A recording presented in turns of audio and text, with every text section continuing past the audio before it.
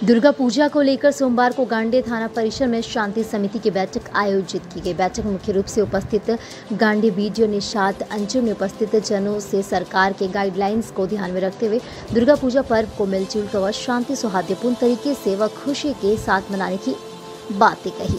वहीं WhatsApp Facebook Twitter व अन्य सोशल मीडिया प्लेटफॉर्म पर विभिन्न तरह की आई पोस्ट को बिना जांचे परखे एक दूसरे को परोसने का काम नहीं करने की बातें कही।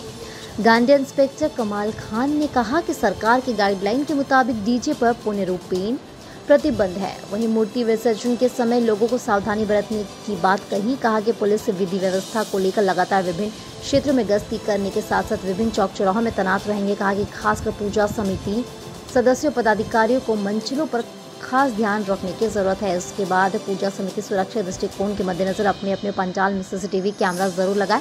ताकि कोई अप्रिय घटना घटित होने पर उसकी जाँच हो सके। कहा कि सुरक्षा के दृष्टिकोण के मद्देनजर विसर्जन के वक्त दो तैराक का व्यवस्था ज़रूर रखें। वहीं थाना प्रभारी रघुनाथ सिंह ने बैठक में उपस्थित सभी बुद्धिजीवियों से दुर्गा पूजा की, त्यौहार को शांति सौहार्दपूर्ण वातावरण मनाने की अपील की। साथ ही कहा कि सभी पूजा समिति एवं एक विशेष यूनिफॉर्म में अपने 10 वॉलेंटियर को पूजा पंडाल में तैनात रखे ताकि विधि व्यवस्था बनाए रखने में प्रशासन को सहयोग मिल सके। बताया कि गांधी थाना क्षेत्र में कुल छह जगह क्रमशः गांधी बाज़ार, बड़की टांड दासडी लेदो, डोडिया व मंडरो गाँव में दुर्गा की प्रतिमा स्थापित कर पूजा अर्चना की जाती है, जिसकी विधि व्यवस्था को लेकर कमेटी के पदाधिकारी से शांतिपूर्ण माहौल में सफलपूर्वक संपन्न कराने को लेकर अपील किया गया। वहीं प्रमुख राजकुमार पाठक मोहम्मद अकबर अंसारी, भाजपा के पूर्व जिला अध्यक्ष रघुनंदन पाठक हाजी उस्मान अंसारी आदि ने भी अपने सकारात्मक विचार व्यक्त किए। मौके पर भाजपा के पूर्व जिला अध्यक्ष यदुनंदन पाठक प्रमुख राजकुमार पाठक समाज सेवियों